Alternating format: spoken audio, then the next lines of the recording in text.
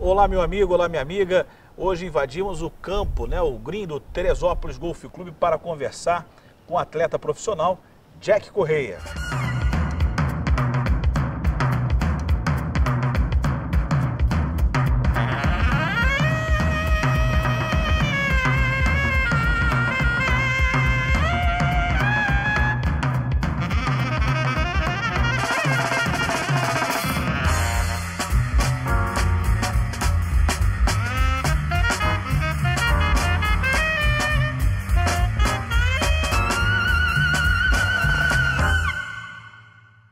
Muito bem. Jack, estamos aqui Sim. no nosso Café em Pé e, Claro. primeiramente, obrigado por você receber a nossa equipe. Ah, Você que prazer. faz parte do- do- da, da quarta geração né, Isso. de atletas aqui do Teresópolis Golf. Clube. E antes do, do nosso produtor Aurélio Filho iniciar a gravação, falávamos aqui justamente do campo de Japeri, Exato. Baixada Fluminense e Barra da Tijuca, né?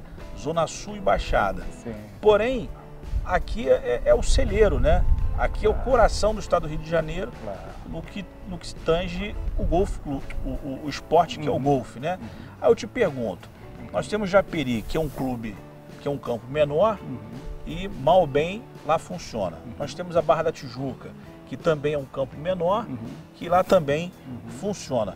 E nós temos aqui o Teresópolis Golf Clube, né, que é infinitamente Uhum. melhor que os dois campos, porém hoje o, o esporte existe uma barreira né, com a sociedade. E eu te pergunto, você que está aqui há quatro gerações, né, é, é, a sua família, o que fazer para romper essa barreira, Jack?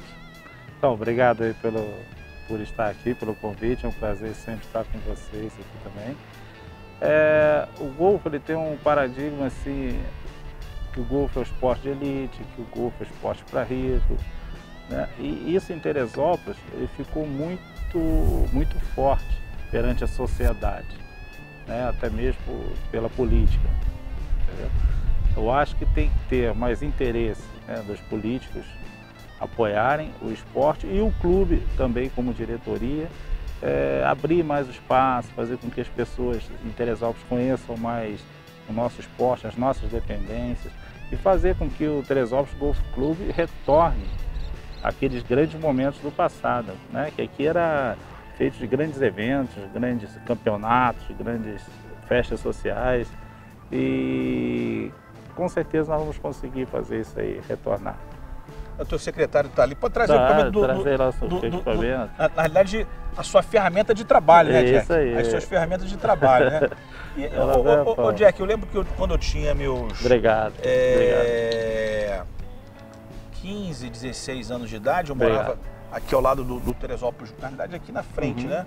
Morava aqui na Silvio Romero e acompanhava né, a quantidade de atletas que estavam aqui, Sim. não no sábado e domingo, mas no Sim, dia a dia, né? de segunda a domingo. Só fe- O clube fechava uma vez por semana e mesmo com o clube fechado, os atletas prata da casa treinavam, né? Representava E- muito bem o clube. né? E, e daqui do Teresópolis Golf Clube, vários CADs se tornaram profissionais do Sim, golfe. sim, né? sim. Você mesmo tem a história aí da, da, da sua família. né? O seu pai foi CAD, É. o seu avô foi Meu CAD. bisavô trabalhou aqui na fazenda antes de ser um campo de golfe, do da fazenda dos Vieiras.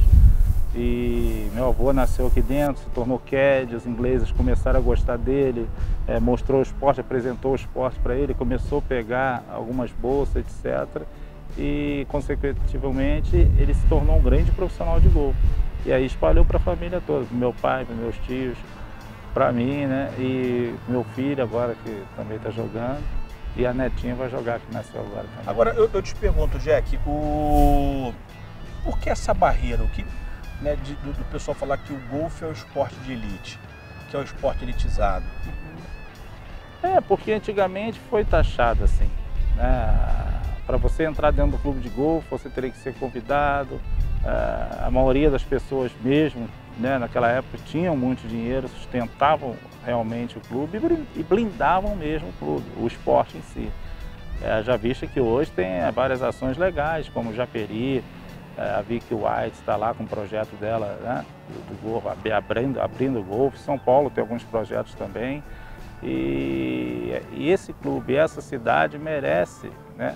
A cidade merece conhecer o, o golfe. E o golfe merece receber é, o pessoal da cidade. Então essa está sendo a minha luta aí para que isso aconteça também. Quando você fala que falta participação do, do, do, do poder público, uhum. falta participação da, da política, do interesse, né? né? É, de, de, estar participando. Uhum. Na, na, última Olimpíada nós tivemos uhum. a Confederação Brasileira de uhum. Golfe, né? Uhum.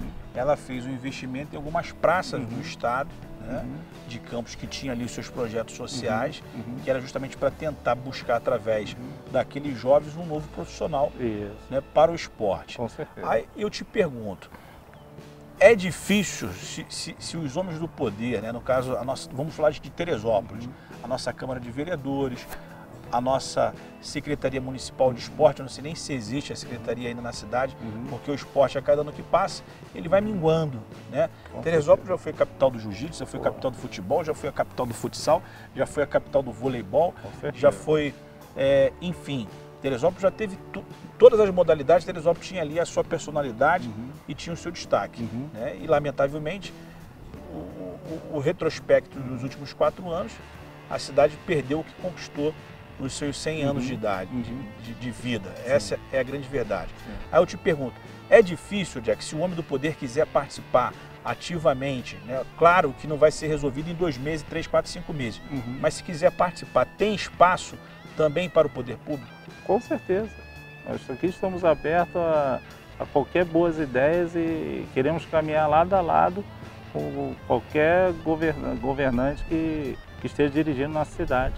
Isso até é um, é um dever né, de, de estarmos instruindo. Golfe é um esporte fantástico, como tênis, futebol, tudo que nós temos aqui dentro do clube.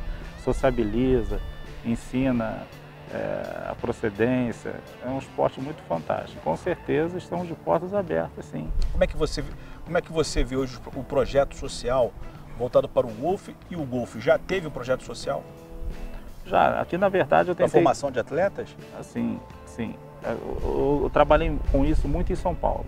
Né? Aí eu tentei trazer para cá algum, alguns anos atrás e não foi bem, muito bem recebido por, por uma diretoria anterior, etc. Mas eu acredito que, que recomeçando, fazendo com que essa ideia se, se volte, eu acredito que sim.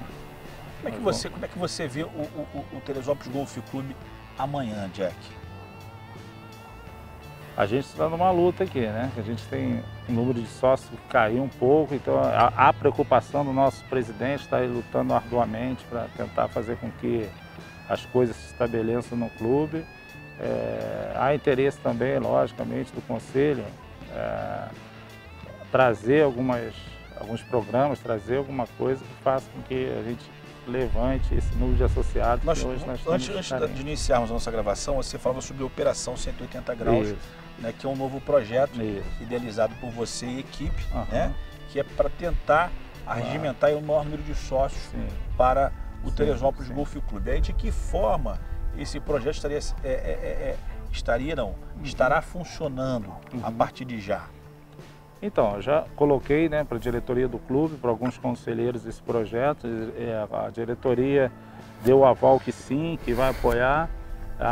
Haja vista que, tem que esse projeto ele tem que entrar né, no estatuto do clube. O presidente, o Carlos Smith, está estudando a forma dele entrar. Iniciaremos em breve esse, esse grande projeto que vai trazer, eu acredito que vai trazer várias famílias para o Teresópolis Golf Clube, isso é importante. É, ter famílias. Né?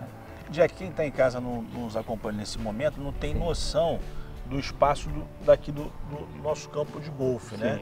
É, na realidade, aqui você do nosso lado direito é o início, sim, né? Sim. E ele vai fazendo o seu contorno Super pelo lado esquerdo e aí retorna seguindo aqui que vai sair, se não me falha a memória, na cascata, na cascata isso, do Imbuí. Do Imbuí. É, e aí retornando. Exato. A gente está falando em, em, a metragem quadrada de, de campo de golfe. 900 mil metros quadrados. Você que, você que hoje é um atleta profissional. Sim. Né? Você, é, que bom, através uhum. aí do seu bisavô, Isso. do seu avô e do seu pai, que Isso. trouxe a você os claro. ensinamentos, claro. e você soube aproveitar, claro. hoje você sobrevive das suas tacadas. Isso aí. Né? E aí você que conhece não o nosso Brasil, Uhum. mas você conhece norte, sul, leste, Uhum. oeste, né? Uhum. Os países afora. Sim. E aí quando vo- vo- você pisa num outro gramado, Uhum. qual é a diferença do Teresópolis Golf Clube, que é o seu quintal, Uhum. para esses outros gramados? Então, quando a gente sai para representar o, o Brasil e Teresópolis Golf Clube e outros gramados do exterior, a, a sensação que dá não é de, de talvez assim, de inveja, é fazer que nosso clube se torne aquele clube para podermos treinar melhor. Aí quando você É. fala de campo, ele deixa a desejar? Deixa. A parte eh, de qualidade, sim. Mas o Brasil está atrasado aí uns 15 anos. E o 15 Teresópolis Golf Clube, falando, se falando aí de, de fazendo um- uma comparação com os campos nacionais. Aqui nós temos, nós não somos um campo eh, de 18 buracos, né, Você tem que dar- oficialmente. tem que dar né, duas de voltas. corridas. A gente tem que, nós temos 9 buracos, nós temos que dar duas voltas né, para se tornar um- uma, uma partida oficial de golfe. Eh, acredito que é o campo mais charmoso, um dos mais bonitos do mundo. Teresópolis Golf É. Clube. por beleza natural. Quando eu falo da parte técnica, é que é aquela parte artificial, né? De cuidar artificialmente. Mas aqui, se fosse usado um pouco uma técnica artificial junto dessa beleza, eu acredito que seriam entre os três campos nove buracos mais lindos do mundo. Nossa beleza aqui é fantástica, né? Haja vista essa exuberância toda aí da natureza. Então, então, na realidade, falta só Já vontade. começa no soberbo. Já começa no subir. Então, na realidade, o que falta é a participação né, Isso, daqueles que estão portal afora isso. do Teresópolis Golf Clube. Exatamente, exatamente. E nós estamos aí com, a com portas abertas, nós vamos iniciar esse projeto aí e vai dar tudo certo. Aqueles que estão em casa nos acompanhando, Jack, e, e se quiserem participar Uhum. dos 180 graus, Uhum. de que forma deve procurar o amigo? Então, agora nós vamos levar para o conselho, isso vai ser colocado lá. É, acredito que em três semanas já tem um marketing pesado aí na cidade, todos vão ficar cientes da, que os portões do Teresópolis Golf Clube realmente se abriram para para todos aí. Maravilha. Boa sorte, ok? conte conosco. Prazer aí de Tá bom? contigo. Valeu. Falou. Um abraço. Valeu. Já brindou com café, não? Pô, No gramado Rio, esse não? aí, pô. Eu, eu ia pedir o Jack para dar uma tacada, né? Mas fica pra- para o nosso próximo café. Isso aí. Um Jack, um abraço. abraço e obrigado aí, Falou, viu? obrigado, prazer. Valeu.